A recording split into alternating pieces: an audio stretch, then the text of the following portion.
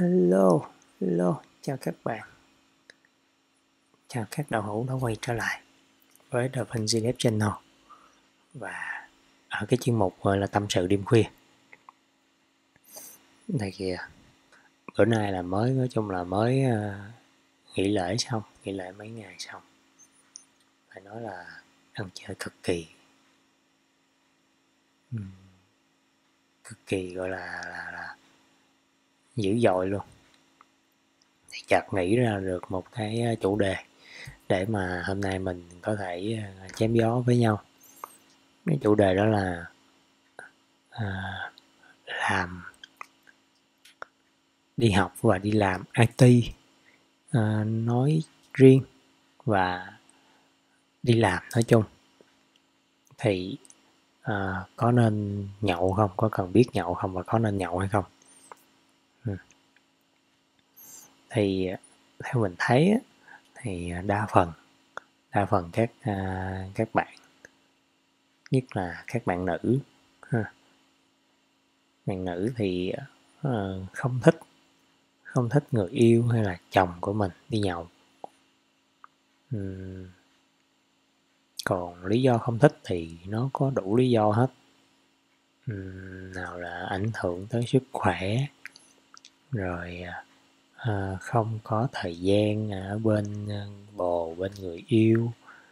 Rồi à, à, nguy hiểm khi mà lái xe rồi tụ tập bê tha ăn nhậu thì phải đi kèm với gái gú chẳng hạn vậy. Này có rất là nhiều cái lý do để mà à, những cái bạn nữ à, già trẻ lớn bé thì đều không thích không thích đi nhậu nhưng mà đa số thôi nha chứ mình cũng cũng không có nói là tất cả nhưng cũng có một số bạn cũng à, rất là thích cái không khí và thích cái tham gia những cái bữa bữa tiệc. Đó, thì à, vậy thì câu hỏi đặt ra là à, tại sao? À, tại sao mấy anh à, con trai lại thích đi nhậu? À, nhất là mấy anh ở ngành IT công nghệ thông tin giống như giống như tôi nè. Là, là um, rất thích đi nhậu.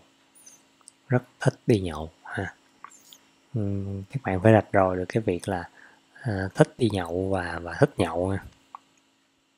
thích nhậu thích uống rượu bia nó khác nha. Còn mình là mình thích đi thôi. Nghĩa là um, gần như là mình giống như là mình à, thích cái không khí của cái buổi tiệc nhậu đó hơn là cái việc là um, uống bia uống rượu. Ừ. có nghĩa là sao? Nghĩa là ví dụ như mình mình để ý đi các bạn cứ để ý nhất là mấy ông mà học công nghệ thông tin á. Ừ, để ý ờ, mấy ông học công nghệ thông tin đó thì các bạn sẽ thấy là à, mấy ông đó rất là rất là ít khi mà nói chuyện một cách bình thường. Lúc mà mấy ông đang bình thường. Nghĩa là những lúc bình thường đó mấy ông rất là ít nói. Ngồi im im lặng lặng vậy đó. Không có nói chuyện gì hết không có, có trao đổi với ai hết. Rất là khó nói chuyện khó nắm bắt cảm xúc của mấy ông đó. À, không biết đang nghĩ gì không biết đang suy nghĩ cái gì à, kiểu kiểu như vậy nghĩa là rất là im lặng ai hỏi gì trả lời cái đó ai nói gì thì nói là cái đó. Uhm, không có gọi là xã giao lắm. Tôi nói không phải là một lần nữa tôi nhấn mạnh là không phải ai cũng vậy. Nhưng mà phần lớn là như vậy những những phần, phần lớn những người học niềm tin tôi thấy đều là vậy hết nghĩa là không có chủ động bắt chuyện với người ta đâu. Nhưng mà ai bắt chuyện với mình thì mình sẽ nói được. Ờ, à, từ chuyên ngành ta kêu là gì ta? Ờ, in, introvert ha à, ờ, chắc vậy. Thì à, khi mà đi nhậu á thì làm được vài chai vô rồi là bắt đầu là khui chuyện ra để nói được. Bắt đầu có chuyện để nói những cái câu chuyện mà có thể khui ra nói được. Thì lúc đó mọi người mới bắt đầu là cảm thấy gắn kết với nhau hơn. Có nghĩa là thấy à thì ra thằng này ngày nó im im im im thì thật ra nó cũng nói nhiều vãi nó nó có phải là à, không nói chuyện đâu. Và lúc đó thì thì mới bắt đầu là chia sẻ. Rồi à, nói chuyện đùa giỡn với nhau thì thường thường là nó cứ phải uh, có một ít hơi men vào thì rượu vào lời ra đó là nói vậy nó chính xác luôn cái có rượu bia vào thì sẽ có à, lời nói nó nói ra.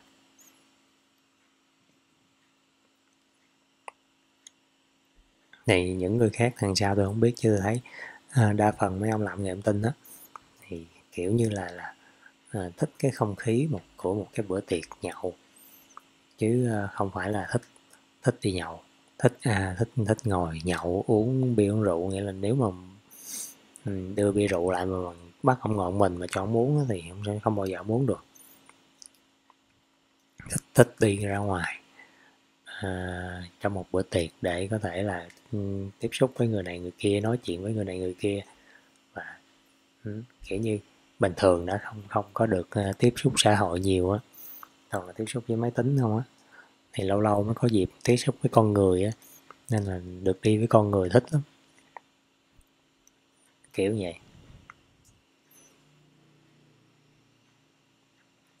À, thì cái đó là là cái cái cách nhìn của mình thì tại sao là mấy ông thích um, thích đi nhậu thích cái không khí của bữa nhậu giống như mình. Ừ. còn à, vậy thì à, đi nhậu thì nó có có tốt không? Ừ, có nên không? Thì cái này à, cũng có thể nói là có mà cũng có thể nói là không tại vì hầu như những cái ông đồng nghiệp của tôi những người đồng nghiệp thân yêu của tôi à, sau một thời gian đi làm thì đều mắc một cái à, chứng bệnh gọi là à, men gan cao ừ. ông nào cũng đi nhậu nhiều và cuối cùng là khám ra là ông nào cũng men gan cao hết rồi sau đó khi mình có kết quả khám à, kiểm tra sức khỏe báo men gan cao thì ông nào cũng sẽ hứa là từ nay về sau tôi sẽ bỏ nhậu. Ừ, và lời hứa đó thường thường sẽ kéo dài được đâu đó khoảng tuần. Rồi tuần sau lại tiếp tục đi nhậu.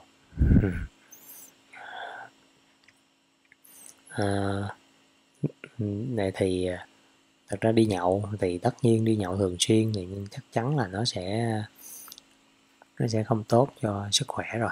Chuyện đó ai cũng biết rồi không cần phải nói. Mình không cần phải nói về cái vấn đề là gọi là đi nhậu mà nó nó nó nó không tốt cho sức khỏe. Rồi chuyện nó hình như à, ai cũng biết hết ai cũng hiểu rõ cái vấn đề đó hết. Thì à, nhưng mà tại sao là người ta vẫn vẫn vẫn đi nhậu? Thì có những lúc mà gọi là không đi không được. Có những lúc không đi là không được. Ha. Uhm, các bạn cứ tưởng tượng đi. Ví dụ như giờ trong công ty à, có hai ông. Nó hai ông đều à, giỏi như nhau. Hai ông giỏi như nhau năng lực đều đều tốt như nhau. Thì à, một ông thì thường đi nhậu với lại đồng nghiệp với lại sếp còn một ông thì à, không đi. Hoặc là ít khi đi. Thì à, câu hỏi đặt ra là nếu như có một cái cơ hội nào đó um, à, được tăng chức hơn được được cái gì đó nhưng mà là được có một cơ hội nào đó để mà phát triển lên hoặc là có một cái dự án gì đó mà rất là hay ho thì giữa hai người đó, mấy ông sẽ nghĩ là ai sẽ là người được chọn. Một người là đi nhậu thường xuyên với team một người là ít đi nhậu với team. Thì giữa hai người đó, người nào sẽ là người được chọn? Hả? thì theo tôi là cái người mà hay đi nhậu là người ta sẽ sẽ được chọn. Nhưng mà cũng tùy, nhậu là phải gọi là nhậu văn minh nha nghĩa là nhậu rất là văn minh rất rất là điềm tĩnh. À, không chửi tục nói bậy không đòi đánh đồng nghiệp đòi đánh sếp. Ừ. nghĩa là đi nhậu văn minh. À, nhậu xong về nhà cũng văn minh. À, nhậu xong về nhà là chỉ leo lên giường ngủ. Ừ, không có làm phiền gia đình hàng xóm và xã hội. Không làm phiền tới mấy ông công an có nhiều bạn là là uh, cái nết mà bình thường rất là đẹp. Nhưng mà sau khi mà uống được ít hơi men vào không miếng hơi men vào là bắt đầu là muốn làm cha thiên hạ gặp ai cũng đòi đánh. Rồi à, về nhà rồi, rồi à, đánh vợ chửi con bạo hành gia đình tùm lum hết.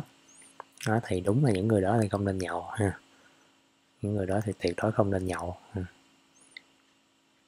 còn nếu như mà bạn, bạn, bạn nhậu vào mà bạn vẫn được uh, giữ được một cái thái độ rất là văn minh um, thì mình nghĩ là uh, đi nhậu ờ, với mọi người nó cũng tốt.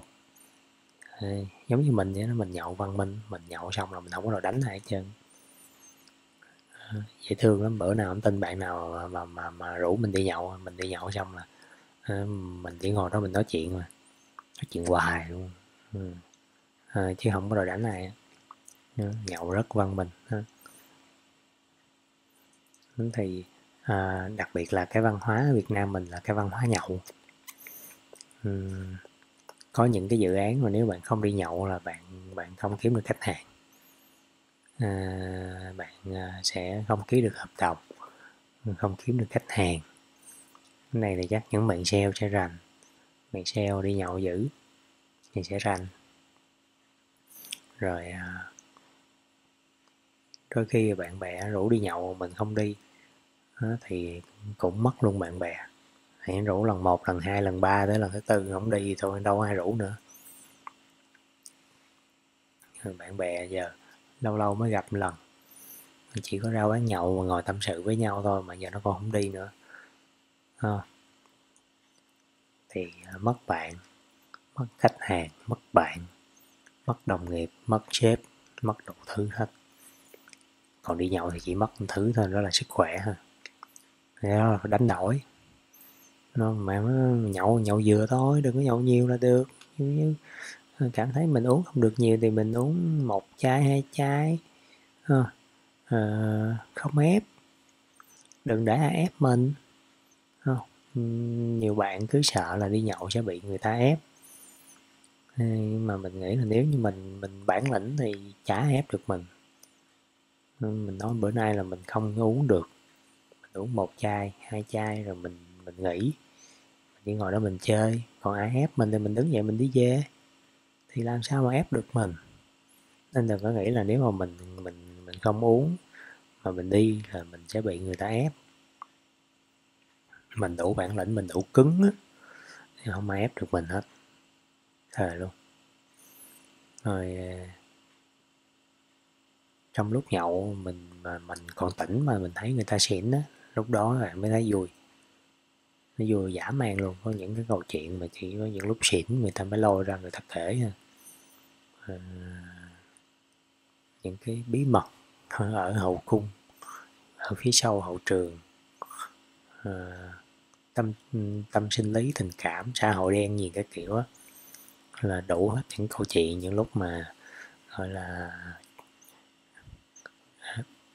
bia rượu nó vào nhiều rồi đó. Rồi có những cái câu chuyện rất là nhiều những câu chuyện cảm thấy là nó, rất là vui rất là hài. Nếu như các bạn à, chơi đúng người chọn đúng bạn và à, có những người đồng nghiệp dễ thương thì mình nghĩ là những cái bữa nhậu rất là vui. Thì cái ờ, cái quan điểm của mình là nếu mà nhậu giữ được một cái thái độ bình tĩnh, văn minh, biết kiềm chế ờ, không quá đà ờ, nhậu không có ừ, ừ, không, đây chỉ nói tới việc nhậu là uống bia chứ không có đang nói tới tăng hai, tăng ba gì nha. Đó nghĩa là thì à, mình nghĩ cái việc à, mà đi nhậu với với đồng nghiệp với bạn bè thì nó cũng rất là thoải mái mà không có gì phải phải đáng lên án cả. Nên là mấy chị em mà có nghe được có nghe được cái video này thì nên à, thả lỏng cho mấy anh đi đi đi nhậu. À, cũng không nên đi nhậu quá thường xuyên. Ví dụ một tuần đi một ngày hoặc là hai ngày nếu mà có nhiều show thì tuần hai ngày còn không thì tuần một ngày cũng được. Ừ. thì à, tại sao tại sao phải thả cho đi thường vậy? Thì à, tôi à, mới à, mới xem cái bộ phim mà gọi là phi vụ triệu đô á bộ phim mà đi cướp ngân hàng á phải không cướp tiền á lập kế hoạch âm mưu đi cướp tiền á tôi coi tới cái phần phần 3, phần 4 thì tôi không biết không nhớ nữa nhưng mà có cái tập đó là cái ông đó là ông nói một câu rất là chí lý. Cái ông mà gọi là ông có bảy đứa con rồi ông ông ông, ờ, ông ngồi ông, ông tư vấn cho thằng gì Denver ông nói là nếu như mà mà lúc mà trước khi có gia đình đó, trước khi có con đó, mà mình ví dụ mình à, ăn nhậu, mình hút chích, mình hút cần, mình mình chơi bời các kiểu rất là nhiều. Thì à, tới à, sau khi có con á, mình cũng đừng có bỏ cái việc đó, mình đừng có đừng có nghĩ ngang cái việc đó. Ừ, mình cứ cứ sống giống như là, giống như là như cũ đi. Tại vì nếu như mà mình nghĩ ngang, mình không làm những việc đó nữa mà mình cảm thấy buồn chán, thì mình cảm thấy hối hận thì lúc đó mình sẽ đâm ra mình ghét con mình. Thì nghe nó cũng có gì đó sai sai nhưng mà nó cũng rất là triết cũng rất là có lý trong cái việc đó. Có nghĩa là à, đừng có nghĩ là mình có vợ có con có một cái phải, phải có trách nhiệm rồi mình không được làm ngày không được nhậu cái kia. Thật ra là à, mỗi người thì phải đều nên có một cái lựa chọn một cách giải trí riêng cho mình vui chơi riêng cho mình. Và nhất là khi có vợ có con có gia đình rồi thì những cái gánh nặng mà, mà cả hai người vợ chồng đều phải san sẻ với nhau rất là nhiều. Thì nếu như được thì cứ mỗi người phải lựa chọn cho mình một cách để mà mình khuây khỏa. À, đừng có để cái cuộc sống áp lực gia đình vợ con nó ảnh hưởng.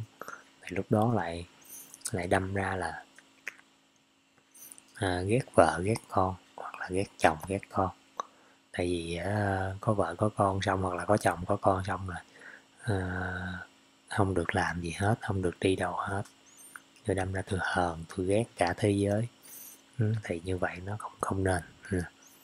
nghĩa là đừng nên gò bó nhau quá à, có cuộc sống thoải mái. Thì à, nếu như đi nhậu một cách văn minh à, lịch sự không có về hành hạ chửi bới đánh đập vợ con à, và nên hạn chế đi nhậu tuần khoảng một hai lần gì đó thì ở cái quan điểm của mình là mình à, cảm thấy là ok.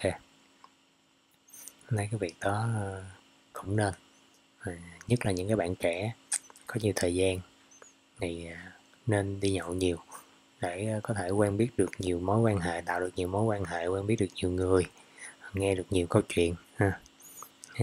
Và nhất là những cái bạn mà giống như là tôi nói nói này không phải là suối mấy bạn nhậu nha nhưng mà những cái bạn sinh viên á thì nên biết nhậu.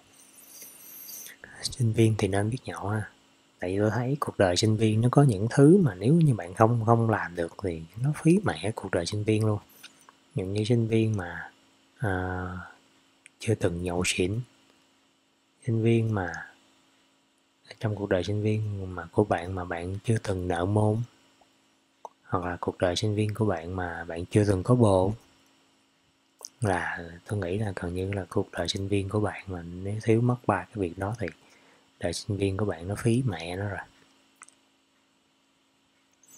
ừ, tuổi trẻ bạn có gì để bạn kể Đúng nếu như mà bạn không có cái những việc đó ừ, tới hồi mà bạn già rồi bạn nhìn lại thì chỉ có những lúc chơi lầy của hồi tuổi trẻ nó mới là những cái câu chuyện uh, vui để mà mình kể lại sau này ha. thì các bạn trẻ nếu mà nhậu được cứ nhậu.